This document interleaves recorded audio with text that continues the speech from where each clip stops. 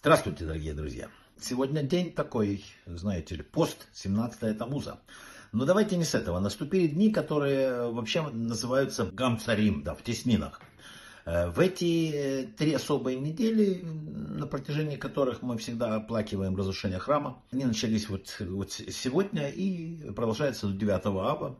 17 тому здесь не буду перечислять, много всяких э, сложностей, проломлена стена римлянам Иерусалима, потом три недели шли бои, потом сожжен храм, 9 ава уже день, когда храм был сожжен. О чем здесь разговор? Почему, смотрите, ну сожжен храм был, много зданий сожжено было за тысячи лет. Почему мы именно об этом храме? Ведь в конце концов, э, почему мы хотим увидеть храм? И каббалисты нам открывают очень интересные вещи. Когда говорится о храме, вы обратите внимание, нам всегда говорили одну важную вещь, что если в твоем поколении храм не построен, значит он разрушен. Это означает, что духовное состояние поколения таково, что храм бы был разрушен, если бы он стоял.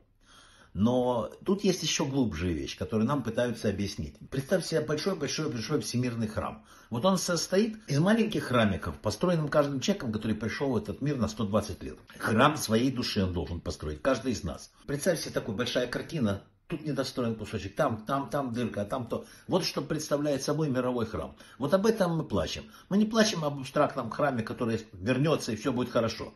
Нам свой храм надо строить. Заниматься строительством собственного маленького храма, сумма которых потом даст большой. Поэтому храм разрушили мы. Да, вот почему мы плачем, почему мы переживаем. Потому что именно не достигнув того уровня, который мы должны были достигнуть, мы разрушили храм, и тот, и тот как будто был бы еще дальше. Сначала было написано царство земное, как царство небесное. Они одинаковые, да?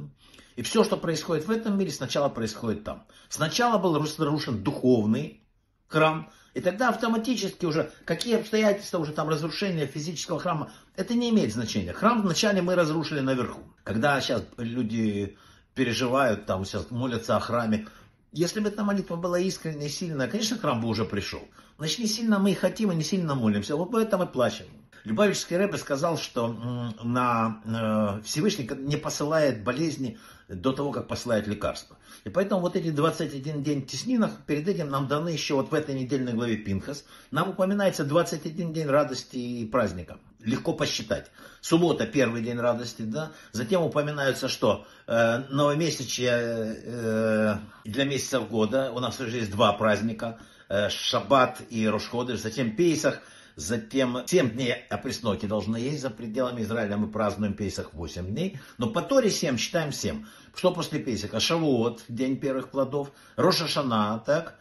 Э, по Торе тоже только один день. И после этого в десятый день мы читаем в нашей недельной главе седьмого месяца священное собрание, смиряйте души, это Йом-Кипур. И уже 12, и потом у нас семидневный праздник Суккот. У нас 19, Шмини Ацерет, это 20, и у нас не хватает одного дня до 21. Любавический Рэбе говорит, есть. Есть этот праздник, он не упоминается в Пятикнижне, но упоминается в Танахе. Это Пурим. Так что все, надо понимать, что есть хорошо, заложено все хорошо. Теперь еще немножко плюсом. Нынешний раздел один из э, содержащих вот э, вообще законы о празднике очень много. Почему? Потому что мудрецы сказали, что в будущем именно этот период, 17-го Тамуза, будут отмечать, 17 будет отмечать как огромный праздник, многодневный, завершающийся великим праздником 9 ава. То есть 20, вот эти вот один день, 20 дней между этими постами станут полупраздничными.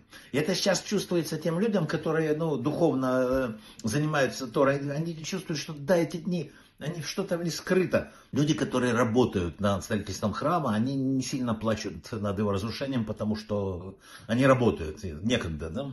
И вот сегодня, когда мы написано будем оплакивать храм, сегодня в наших сердцах, еще быстрее у нас должна возвращаться надежда, что скоро все вернется и все. Написал пророк Ирмиягу, превращу ваш траур в веселье. Вот так да будет срочно, немедленно, потому что уже хочется, чтобы это быстрее наступило. Брахавы от слахах, хорошего поста, легкого поста. batıda.